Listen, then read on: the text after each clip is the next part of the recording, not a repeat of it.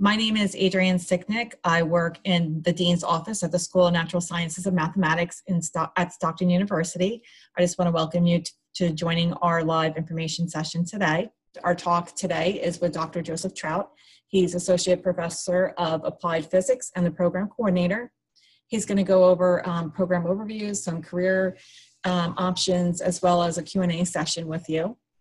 Afterwards, we have Allison uh, on the line with us. She's the Assistant Director of Admissions. She'll be here to answer some general admissions questions for you as well. So without further ado, I'm going to stop sharing my screen and hand it over to Joe Trout. Hello, how's everybody doing? And I think Allison and and Isaac, is that who is on the line? Uh, Kayla yes. and Isaac. Uh, Kayla, I'm sorry. And Isaac. And where are you both from? Or are you local or? Um, yeah, Isaac and I actually know each other. We're uh, math majors at OCC. Oh, good. Okay, so you know the area pretty well. Yes. Okay. Yeah. So, um, do you have any? So, I'll start with the presentation, and then you can, um, and then we can answer any questions you have. Right. Um, I wanted to tell you a little bit about our okay. faculty. We have Neil, Neil Aronson, and he does acoustics. Uh, ben Aguirre, and he does quantum optics, so lasers and things like that. Um, Fang Lu does biomedical and health physics, and um, Manson, he does. He's a he and I do research together, and he does hydraulics and hydrology and and like the flow through streams and, and rivers and estuaries and he's mostly a computational person. Uh, Pal is going to be retiring this year, but she is um, a solid state physicist. We have uh, Benita, and she is um, into a lot of things, including forensic physics and nuclear physics.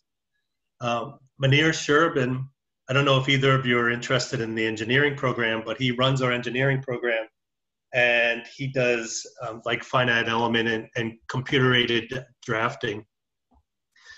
Yitzhak Sharon is is pretty much a legend around here, and and he is he does um, nuclear physics, not um, nuclear power physics, more what's inside the nucleus and how's it held together. And Jason Schulman is is now in uh, he's back in Texas, but he helps us out and he does things like spectroscopy and um, and um, electron um, like um, electron microscopy. And I mostly do atmospheric physics, but I also uh, do astronomy and and some other things. So I do mostly computer models. So we wanted to talk about where one where where you what you do with a, with a physics degree about 60% of our graduates go to graduate school, and about 40% go right into um, to employment. And if we look at the employment, um, about 50% is private sector, about 13 go into college or universities, about 11% go become high school teachers, about 8% are active military, and um, about 10% go into national labs. In the private sector, if you go straight with physics or engineering, um, a lot of times you're working in development labs or um, working for the FAA in the area, and there's various projects that they work on. So if we look at the private sector, if you have a, a bachelor's degree in physics or in engineering, you're about 32% are doing engineering and about 21% work with computers doing either computer management or um, writing code. And then um, about a quarter of them are non STEM, and about 5% are pure physics or astronomy, where it actually, like your job title actually says physicist or astronomy. So all of these people are working with like their physics concepts, but um, Many of them are in engineering or computer um, fields. So ours is mainly an applied physics program. So we use the fundamentals concepts of physics are used to actually address practical problems. Um, so, for example, uh, we have I have a student doing research right now, and they have um, they found that a lot of the community gardens in Philadelphia, which people are really becoming interested in, were having a problem with some of their crops, and we suspected that maybe it was the heat island effect. So we're looking and we're doing research, um, studying the heat island effect in Philadelphia, and looking at their plants also. So we're working with the biologists also. And we have a copy of what they have in Philadelphia here in, in our farm at Stockton. And we're comparing the two as they grow as they grow. So we're trying to use these fundamental concepts in physics to address these practical problems. And a, another part, another student in this this project is actually working to on computer weather models trying to predict like when the last frost will be so we know when to plant things so um, so we have all kinds of projects like this interdisciplinary and where we're using physics to, to um, try to solve everyday problems. So i think the things we're proudest of is that we have a really hands-on curriculum. So for instance i teach electronics and optics and um, it's real hands-on. So I lecture for about an hour, and then you spend about two hours in lab twice a week, and it, try to make it as much hands-on as I can and real-life experiences. So just to tell you a little bit about myself, I was in the Navy for about six years, working in electronics, and then received my PhD in Drexel and then came back and was out in industry for a really long time well about 12 years and then came back to stockton so um, i try to make it as practical and as applied as possible. So that's just both for electronics and for optics. And there's several other courses like that. For instance our mechanics course. Um, dr Fang Lu teaches a medical physics course that's very applied and with physics concepts. Um, we also are find computational skills very important. So, like I said, I do computer modeling, and so does Manson and and Munir also. So these are problem solving with computers. And we also like through your whole all the courses that you will take at Stockton, you'll be doing using computers to help solve the problem. So we still do analytic um, equations where you work with the equations and then find a solution. But we also do a lot of um, computer problem solving and modeling through computers. So if you look at our basic curriculum, right, the main thing is classical mechanics and then quantum mechanics, where you start to, to look at particles as waves, right? And in classical mechanics, you're looking at particles as particles, right? And then we look at um, electricity and magnetism and thermal physics. And then there's some other courses um, that are that you'll take in your curriculum: um, optics and electronics, um, electrical circuits, mathematical physics, and research methods and colloquium. And um, colloquium is where we have people from outside the in in industry or else at other colleges doing research come in and talk to you. And that runs every other week on on monday and we have pizza and and the person comes in and talks to you describes their research or their job and then you can come and ask them questions. Research methods we're really into research. In fact um, i have students that started their second semester of their freshman year doing research with me. And um, one of those projects was to rebuild the um, observatory and, um, and the telescope. So we had a really nice telescope that was really old, and they rebuilt it. So I really like students to get involved in research as, as early as possible. So here's just a breakdown. This is on the website, so you can go back and look at it. What you see, you know, normally your first year you'll take physics one and two and calculus one and two, and then calculus three, and then um, differential equations, and then go into your upper level physics courses like classical mechanics, electronics and optics, um, and quantum mechanics. So like I said, these you can just look up and on the website and see um, the courses that we offer. We also have something called G courses, and these are general courses. And um, the difference from other colleges is that these courses have to be interdisciplinary. And I'll describe a couple of them to you. And um, you have to take a certain number of these, so 32 credits, and and in these different types of G courses.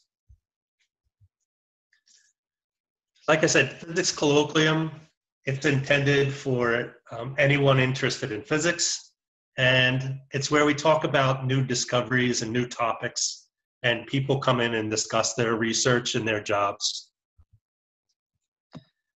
I don't know if either one of you are interested in engineering, or are you, or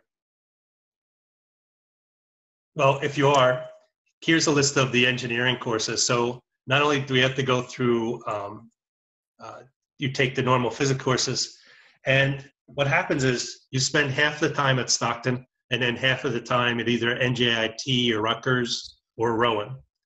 And the idea is that you take all your physics courses at, at Stockton and the good thing is, is that a lot of our like the physics courses are going to be the same no matter where you are.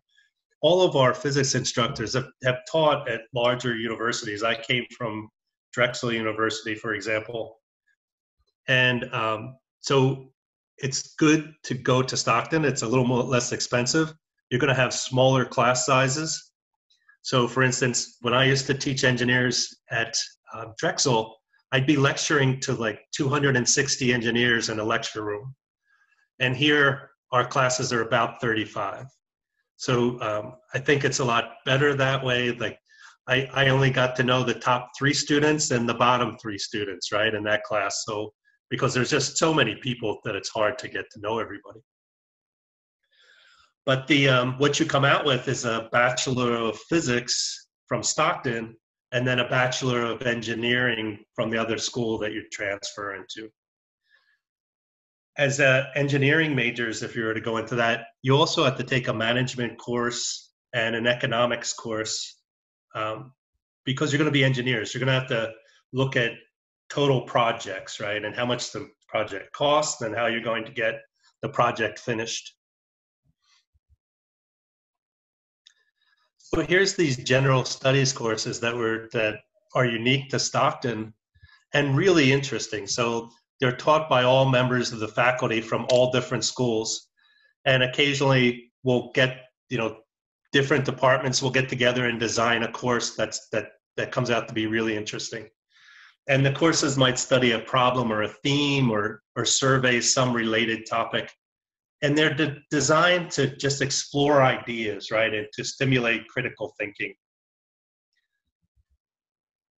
And here's the different types right? There's some for humanities and there's some for interdisciplinary skills.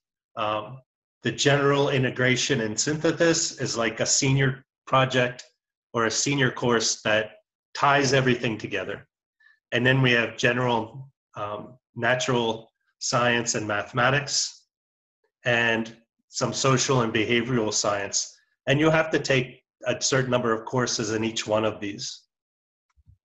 So here's some good examples. One of the ones that I like that I teach is called Severe Weather and Climate. And first we look at all the concepts of physics and weather that that how tornadoes form and how hurricanes form. But we also look at things like, um, you know, we live on a, the Jersey Shore, and we want to see what the current research that's being done on how to protect houses and and what we should be doing to protect the, the waterfront. Because we know there's going to be a hurricane every once in a while and houses are going to be destroyed and beachfronts are going to be destroyed. So let's see let's keep an eye on all the research that's going on. So we talk about that we also talk about climate so in this course um, you're given like 100 years of data and asked to just look at it and see what your ideas are about how the climate's changing. So you'll be given they're given two locations in the globe, and then you compare those two and see what's happening. Um, Neil teaches, or Dr. Aronson teaches one on sound, music, and hearing. So his research is with the Navy, and he does something with um, um, submarines and and actually how people hear in the submarines. So he teaches a course called Sound, Music, and Hearing that looks at physics and acoustics. Um, Yitzhak teaches one on Man Atom Universe that covers everything from black holes to UFOs, right?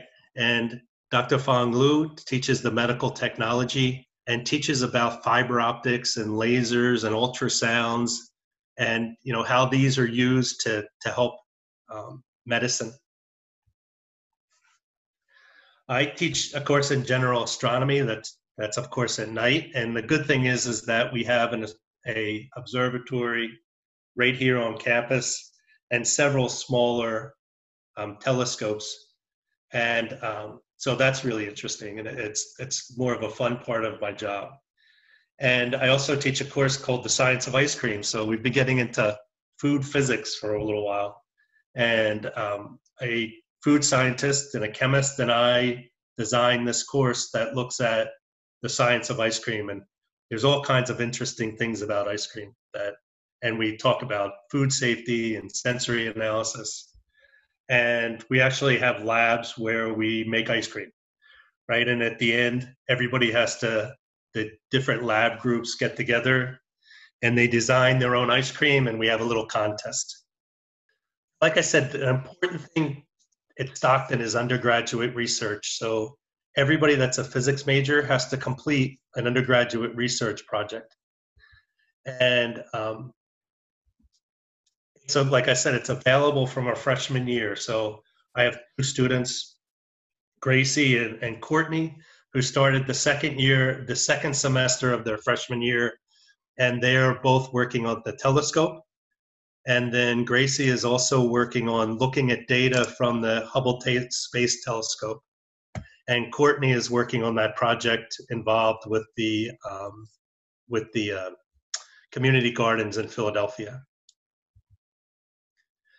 we have lots of publication and presentation opportunities. So we just submitted papers for um, the work with the Hubble Space Telescope, and we have um, also um, some students and I have pre- uh, have published papers in physics education also.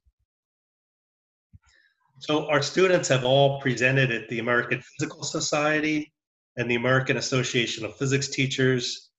Um, NJ Edge, which is a New Jersey research and education network, and the Society of Physics Students. So this is called SPS. There's also an honor society called Sigma Pi Sigma. And also we have times when you could present your research at Stockton. And all of our students, I mean, not all of our students, most of our students have presented at these conferences. So for example, I told that Dr. Manson and I worked with the project with the FAA, and I don't know if you know this, but how close you can land planes together depends on these wake vortices that come off the back of the planes. So this was actually the students that were working with me were actually paid by the FAA, so that was really good.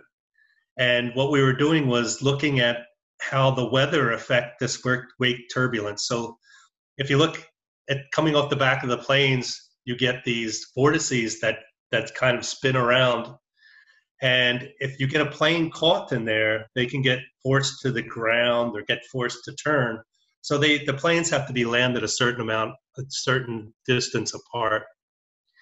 And we're looking at how the weather affects that. And I personally don't want them landing planes any closer together, but it would be nice to know that if one was in trouble, we could get it out of the air without causing any further damage, right? Without risking their, um, you know, risking the lives of the people even further. This is more about that. So one of the students actually had to digitize the airport, and what you're seeing here are, are some flows that go over um, the airport. And this was um, presented to the American Physical Society. Um, I also am interested in, in uh, weather patterns. So this was some research that a student presented um, at the APS again. And here's some, we also do education research. So this was looking at online books and their use in undergraduate physics classes.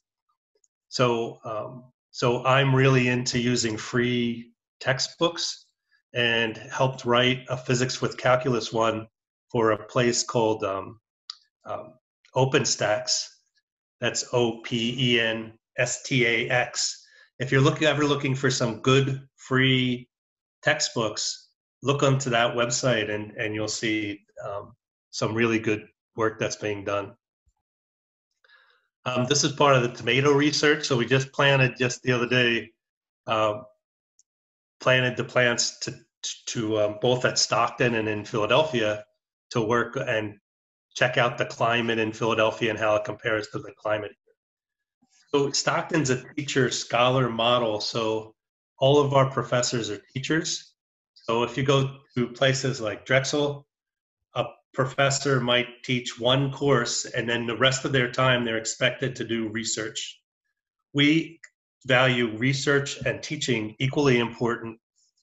So we know they're both important and um, professors are working professionals and they're engaged in scholarship and doing research.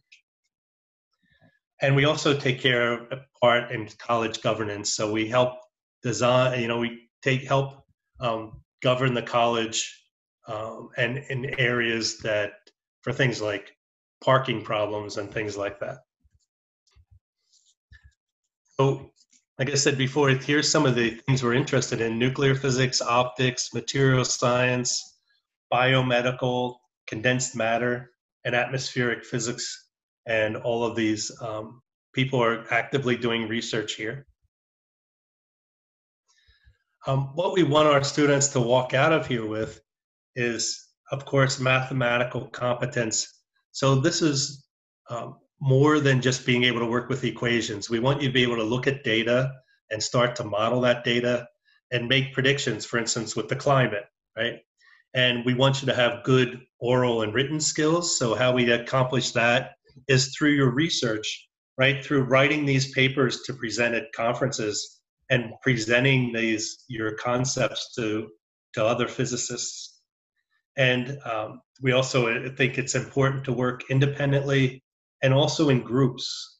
So we we um, really emphasize that. Like I said, data interpretation. In fact, we have a master's in data analysis and big data. That's the the the um, catchphrase nowadays, right? But if you think about it, it, for instance, if you're looking at the climate, I keep going back to weather only because that's my field. But we have tons of data that needs to be analyzed and and uh, so this is an important part of your physics education. And of course creativity. So um, we also have a really active society of physics students and it's really good to get involved with them right away like as soon as you get to stockton. And they have this uh, like a little room that they all study in, all the physics students get together and they help one another out.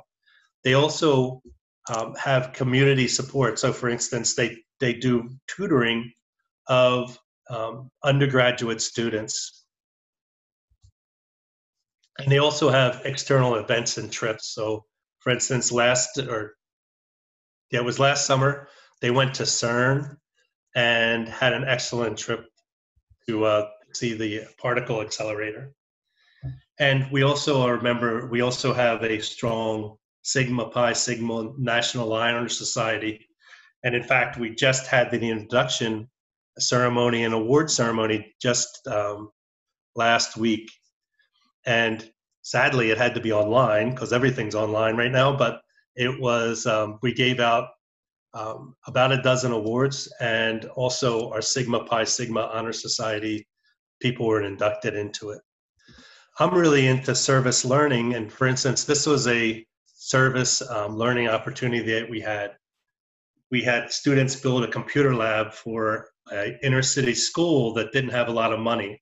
So we got a grant for computers, and then we set up their computer lab. Oh, and for furniture, and and installed all the computers for them. And this was um, through one of my physics courses.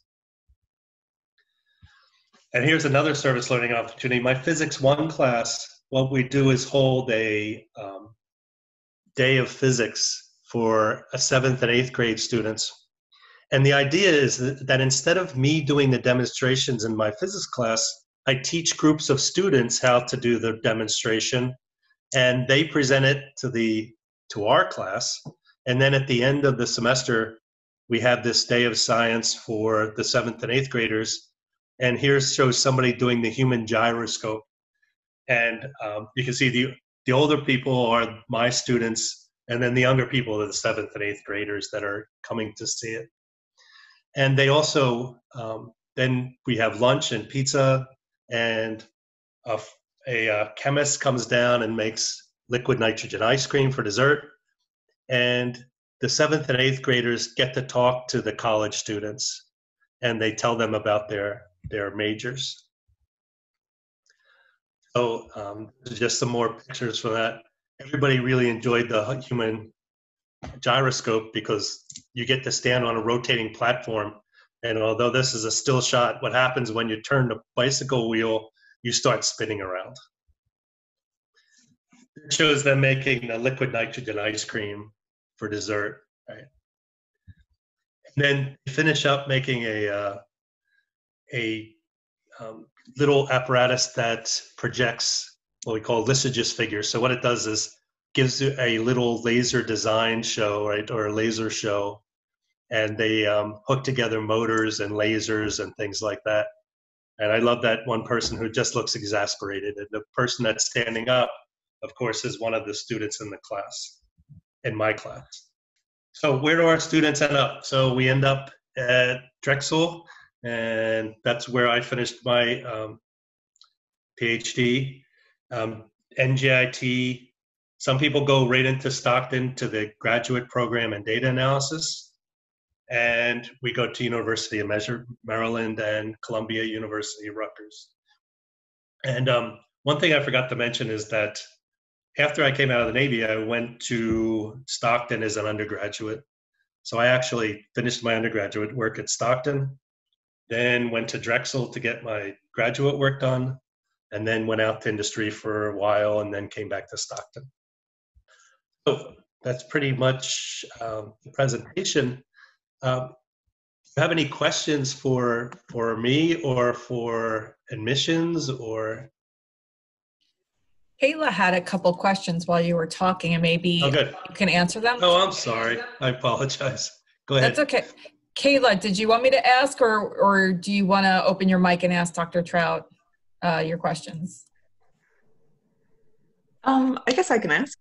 Okay. Okay. Um, so you talked about the physics colloquium. Um, is Yes. that open to anyone? Um, if we're not a physics major? Yes. Yes, actually, Okay. it is. So you can actually, um, we, okay, so it's a zero credit class, Mhm. so you don't have to pay for it, but Okay. and but you still it'll still end up on your transcript that you've attended, and um, and really for that course, the only thing we the only assignment really is that um, after you attend the um, the talk, then you write up like a half page summary or questions or something you found interesting. And in fact, I do it um, through a blog, so everybody can they they can talk to one another, the other people in the class. So um, so like I said, it's a zero credit course, but everybody's welcome to take it. Anybody interested in the physics? Oh, that's great. Thank you. Um, and then I had one more question. Okay. I'm thinking about picking up physics as a minor. Um, Yes. But whether I do or not, I was just wondering if you knew anything about research opportunities that are like open to any majors. Um, Yes. Like if I wanted Okay, do so- something but not in my field. Mm-hmm. So, um, for example, I um, the one my one research student Courtney is actually a biology major and a physics minor, and she was interested in um, but she wanted to be, she's actually working on two projects. One of it is that she's been really involved in the observatory. So she loves astronomy, but she wants to be a doctor. That's why she was getting a, a, a dual degree or a, um, my, a major in biology and a minor in physics. But she also works on that project that involves um, the biology aspect. So the community gardens in in um, in Philadelphia. There's another student who is um, working on a project with a chemist and I, and we're looking at um, wheat that's been grown locally versus wheat that's that's been um, that's commodity wheat, you know, like King Arthur or something like that. And we're looking at the the differences in the amount of vitamins that are involved in each. And she does, and she actually last year got a $2,000 reward for the work she was doing on that project. And it's completely interdisciplinary. We also have students that um, um, work with another professor, and I don't know exactly what they're doing, but they do something with um, the tidal basins here and they model how the tidal basins are being affected. So that's another inter- interdisciplinary thing that that's been going on. Um, trying to think. Can you think of anything else, Adrian, that I've that anybody else that's? Um, yeah, that's all I can think of at the moment. But I'm sure I'll come up with some more. I, I so we have a lot. Is that the question you're asking though? Is it interdisciplinary? Yeah, that's good. Thank you. Okay. Yeah and we also have pure physics projects going on too. So I don't want to make that sound like that that's not happening either. So, um, um, so there's some surface physics that was going that they were doing research on using the electron microscope.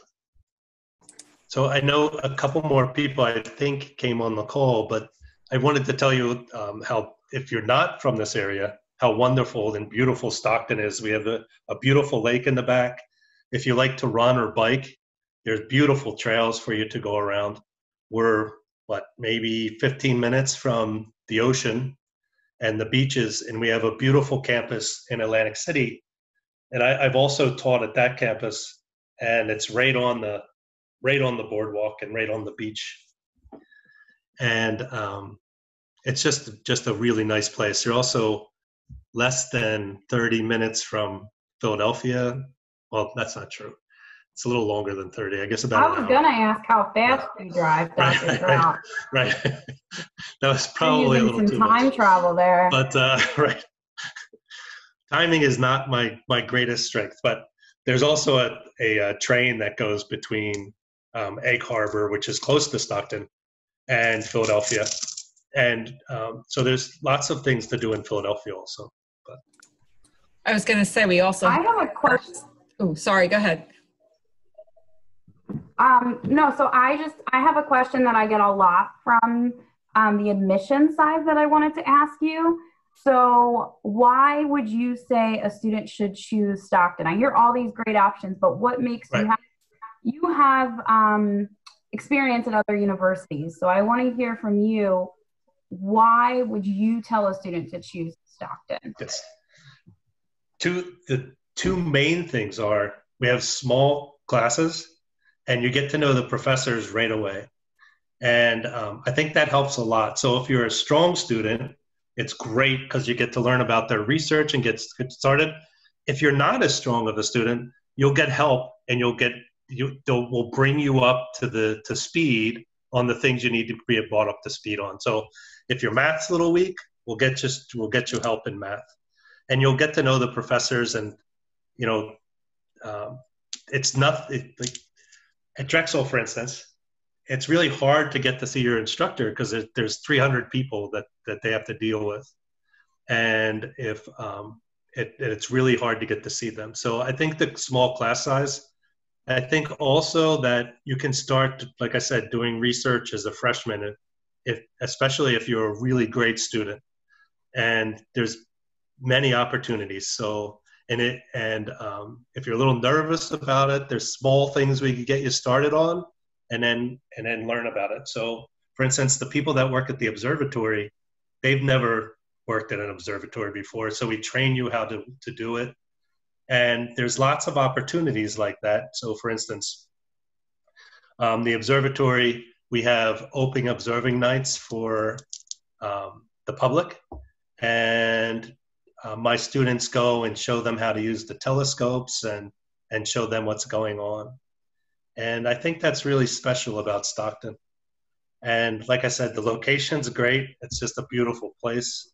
And so those, at least those three things, small classes, research, and it's a beautiful place. Yeah, I think those are those are great points. Um, and I always tell students too, because you know, internships is this um, or experience research. Those are like these hot button ish, uh, hot button like buzzwords. But what do they right. actually mean? Is that when you go to apply for jobs, a lot of times it says, you know, you need a year of a research experience, a year of this, a year of that. Well, how how are you supposed to get that when you're in college? Well, this is how you do that. And this is I'm always telling students this is that's that's how you reach that experience level before going out into the field is to go out into the field with a professor and work on a project. So I think that that's huge. Right.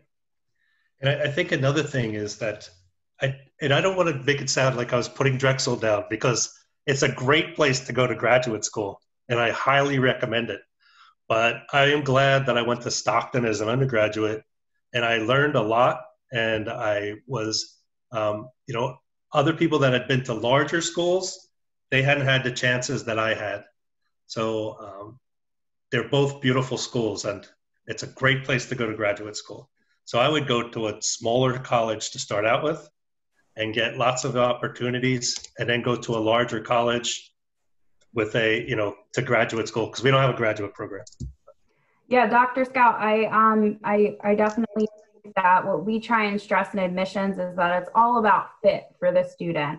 So if you're looking for a smaller school setting, that's that's us, small, rural, um, that you know Drexel is, a, is, an opposite. It's not necessarily a bad thing. It's just we have the two different, um, you know, there's different options in our area. So right, and don't forget, even though what, like I said, um, the students that are working in Philadelphia and things, they, you know, we have um, connections with the big city and things. It's not we're in a very rural area, but like I said, everything's really close, and um, and we work with other colleges and things.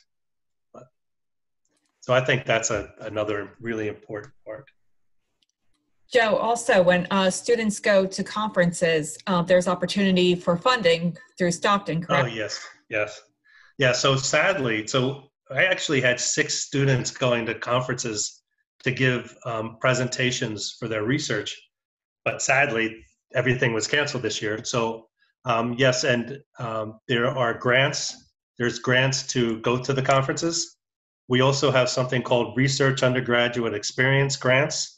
So the students, um, we get some money to do research with. So if you have a good idea, then um, you can get money from the college to help out with it. So for instance, the you know, I keep talking about my my projects because I know the most about them. But three of my students got research undergraduate um, grants to do the research. One involved the Kepler Sky Tele- Space Telescope. The one the um, and what we're working on with the tomatoes and and climate change in Philadelphia. And we also have somebody that's designing an astronomy course, and she also she also received a grant for a travel to go to the conference to present the, the um, course we're writing. Oddly enough, we were writing an online course for astronomy. That was what her project was. And it came in useful when we had to go onto line online because we had a lot of it done already. And the conferences could be all all around the country, correct? Uh, yes, yeah. So um, this year it was in Maryland, and there was one in Denver. They're yeah, they're all over the place. And the National Chemist Society. I had two students present there last year. That was in Boston. And this year, sadly, it was right in Philadelphia. So we had a whole bunch of people going, but sadly, it was canceled. So, but, and, um, but they'll be back up again. We actually had virtual ones, virtual meetings, but not as much fun as going to the conferences themselves. And the physics club, you don't have to be a physics major to be in the physics club, correct?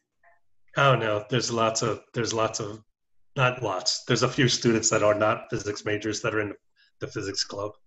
And So, the uh, trips associated with the club, they could, you could also go on those trips as well if you're not in physics through the physics club. Yes. Okay. Yep. And that like the one to CERN, I don't know exactly how much the students cost, but, but it was like two or three hundred dollars maybe. So the college paid for a lot of that. I don't remember exactly how much it was. But And that was to Switzerland, correct? yes. Yep. To see the the large um, particle accelerator. So anything else I could tell anybody about? Anybody anything that you're interested in? We also have a a, uh, a great track that if you like to run or, or um, and nice facilities to work out in and basketball courts and all kinds of other things. But, uh, We al- We also have the new building, USC two opened up Oh, in 2018. Uh, It's home to the physics program. Um, Right. Has a chemistry lab and a, I think a bio lab in there as well. Uh, Our greenhouse, uh, the vivarium. And you could see a virtual tour of that on the NAMS. NAMS is the acronym for Natural Sciences and Mathematics at Stockton. So if you come to Stockton, there's a lot of acronyms for our schools. Um, but if you go to uh, stockton.edu forward slash sciences sciences dash math, there's a, a virtual tour of USC2 facility. Yeah, also, I just Yep. I wanted sorry. to hop on real quick and just make sure. I, I think yes. Kayla and Isaac, you're uh, transfer students.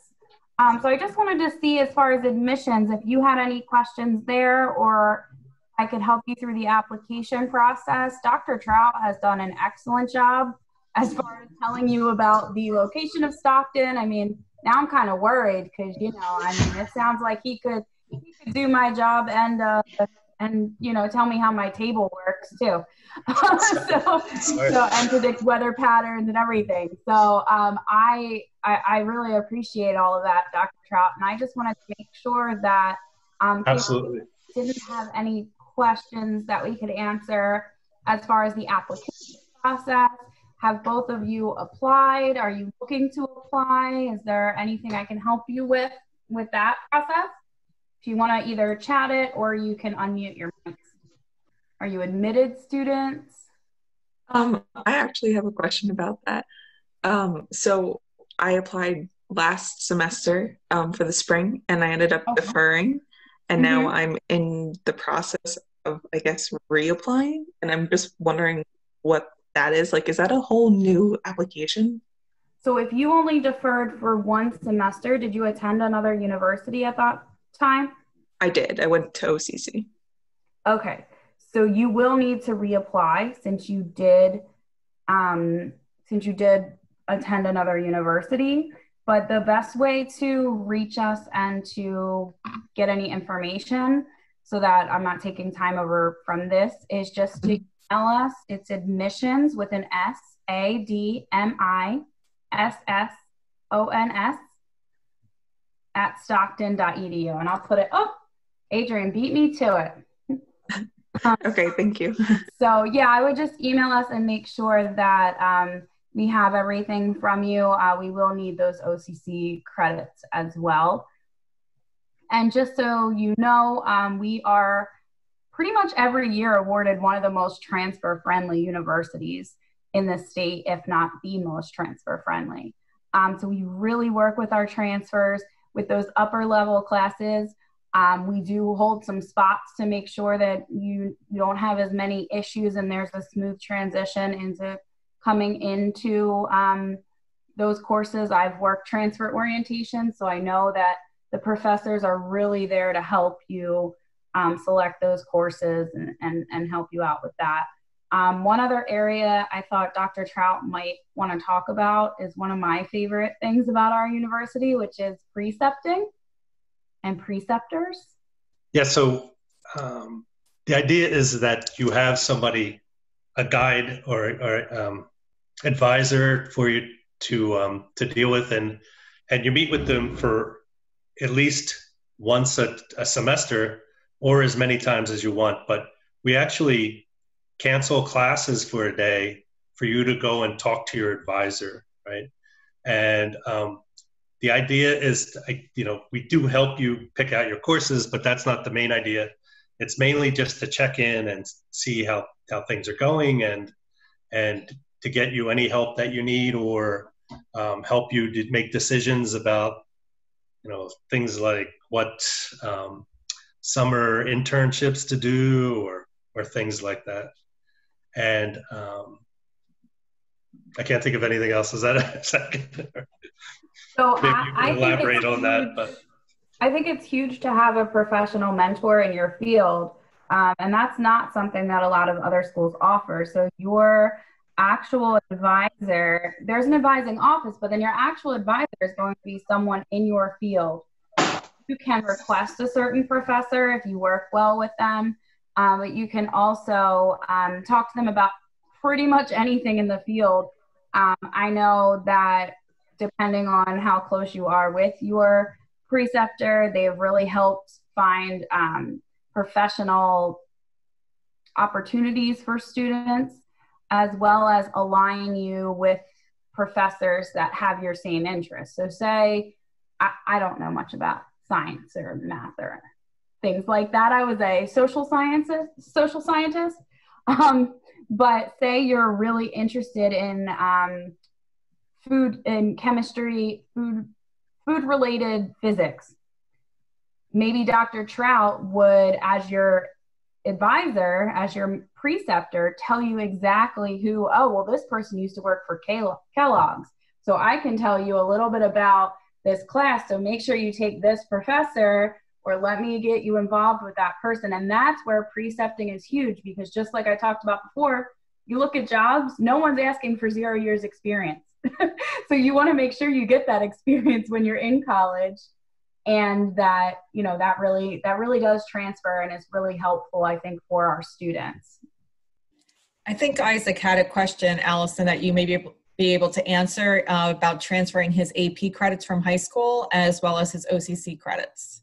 Yes i um i i told him to just email us. Uh, we have a, a form for ap credits as well though that i will just since we're on here now. So if you go on stockton's website there's a search function at the top and um, if you're on the mobile site, you have to hit like three lines up at the top and then it comes up.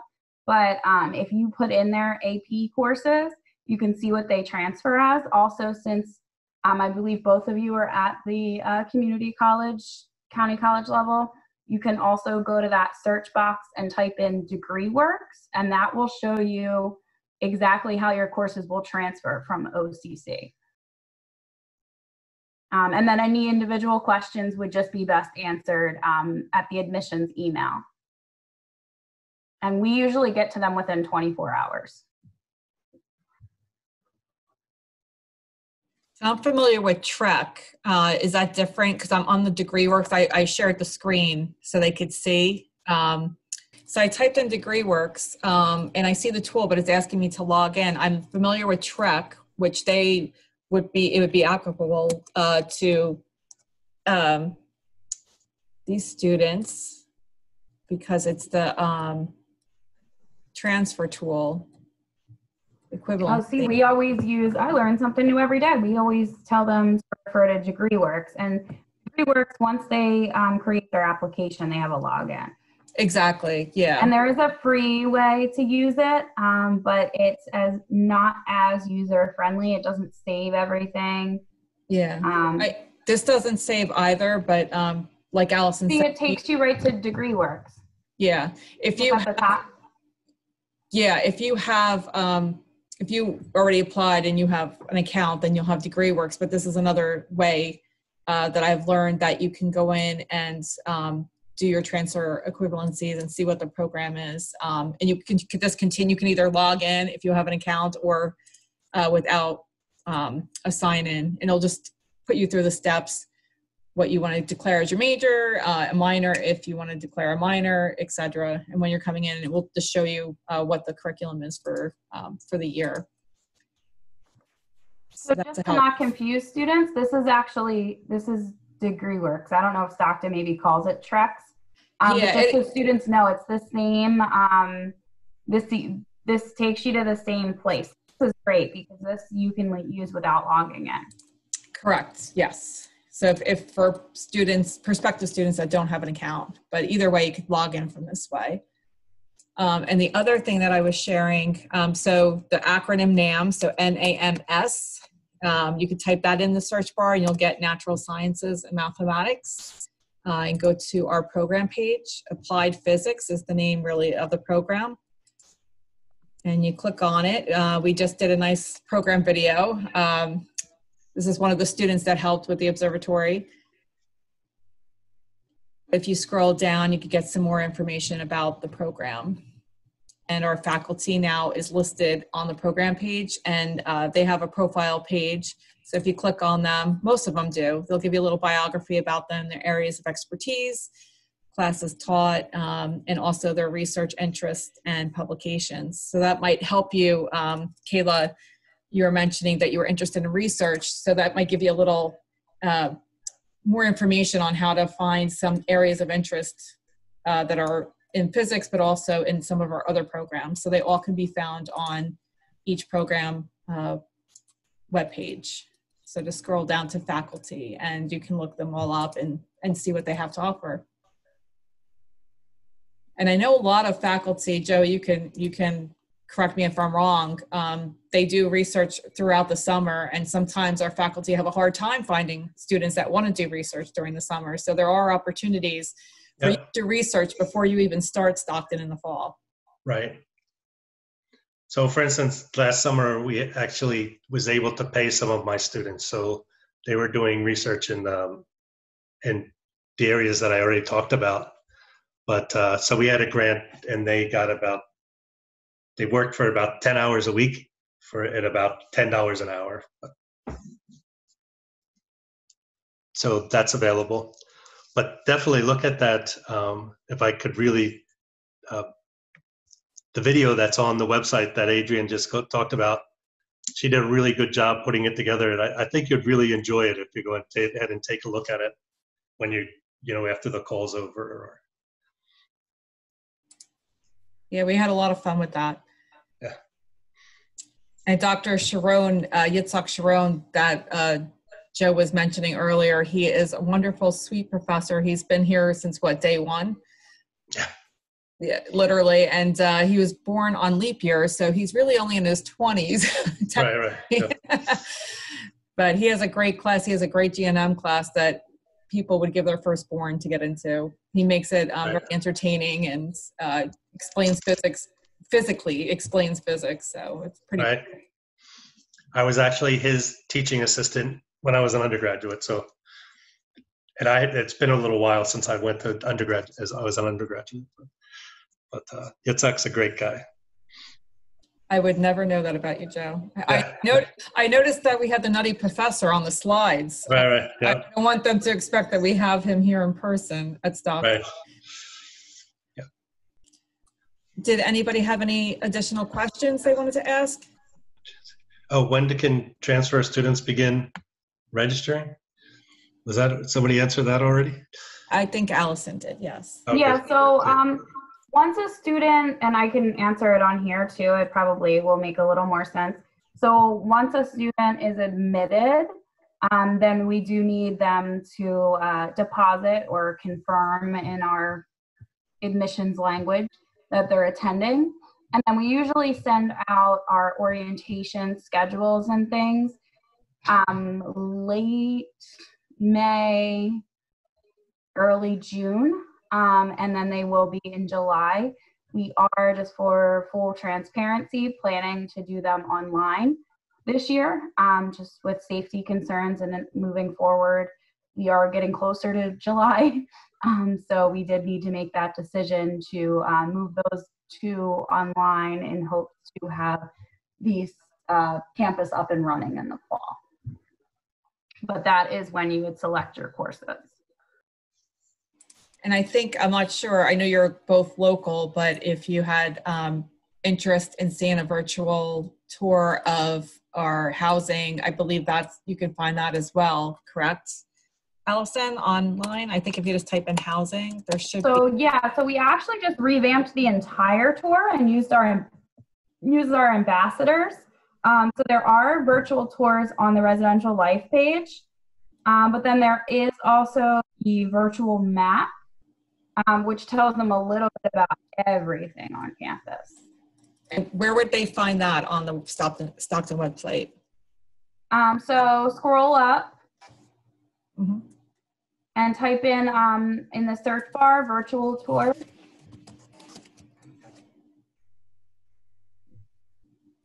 Okay.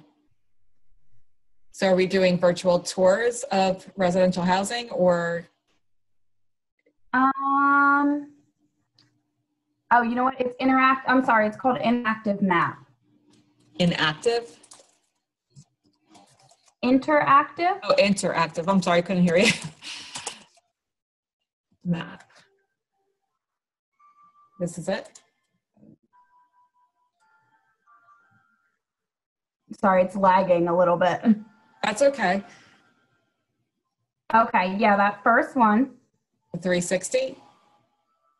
And then, yes, instead of location, you're going to go to tours, the gray area, to the gray, where it says tours. yep. And then explore our campus? I'm sorry, it's lagging. I can't see what it. That's What okay. it- It's explore our campus and then residential. You can actually just start. You can actually just start clicking on spots, and it might lag a lot because it's a video of something.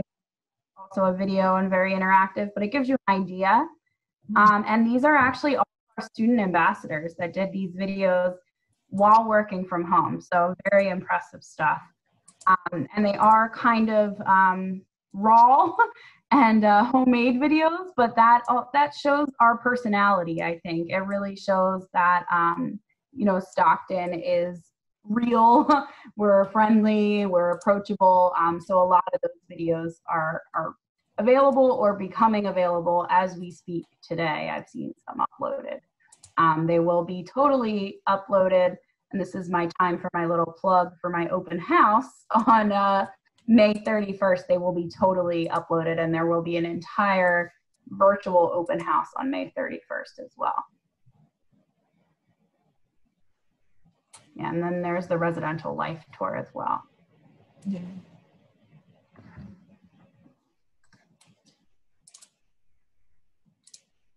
Did anybody have any additional questions?